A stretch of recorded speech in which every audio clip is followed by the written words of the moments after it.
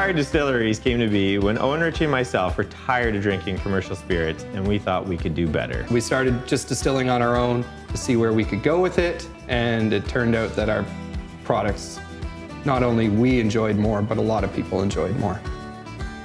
For gin, for me personally, at the age of 19, we'll say, it was mine and my 90 year old grandmother's favorite drink.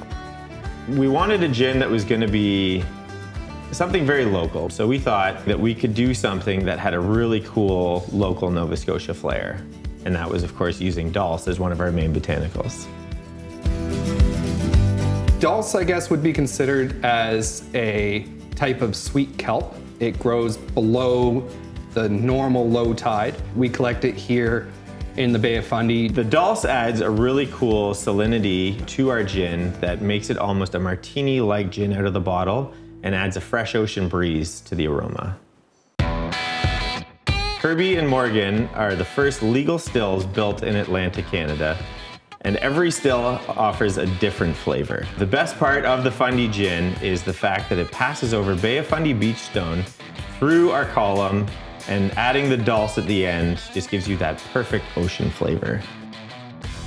We have an importer that lives in Brooklyn, so we started the New York Gin Competition as it was very popular in Brooklyn and we really wanted to see the creativity that was going to come out of those bartenders. Getting to watch these mixologists use Fundy Gin in ways that I never would have thought of it, it was really amazing. We're very proud of the awards that Fundy Gin has won. This year we got a platinum medal in LA at the SIP Awards. We've won double gold uh, four years in a row through 50 Best. We're just completely overwhelmed with how much we're getting from this product.